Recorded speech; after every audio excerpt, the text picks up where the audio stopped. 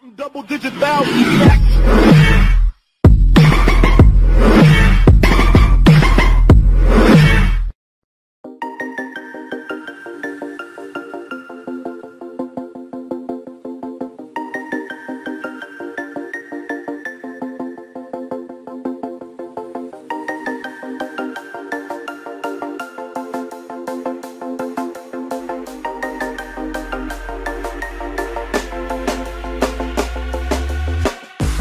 want to get off the darkest ground.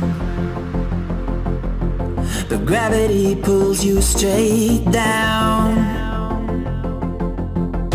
Earth from a bird's eye view. You should grow feathers and see this too